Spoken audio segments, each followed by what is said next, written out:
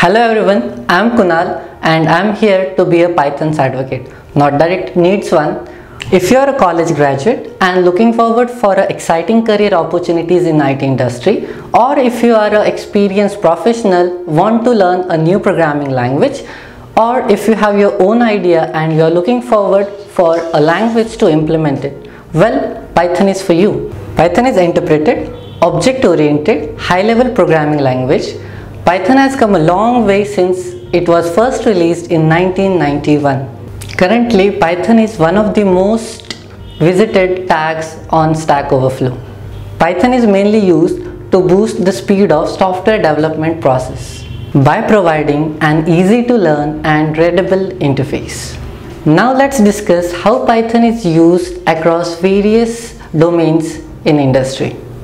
Python is used to develop a web application. If you want to write a scalable web application, Django is the solution for you. Python is great for writing APIs and interacting with databases. Even Google, Instagram and Quora uses Python. Python-based library like TensorFlow, Scikit-learn and Keras are widely used for data analysis and machine learning. Have you ever wondered how YouTube's video recommendation works? I will suggest explore machine learning and deep learning. Python is highly compatible with cloud technologies like AWS, Microsoft Azure and Google Cloud. It is also used for big data processing using Apache Spark. GUI application development? Well, you can do that as well using Python. And this is not it.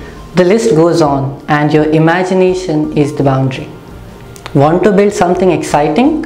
Start your journey with EdYoda today.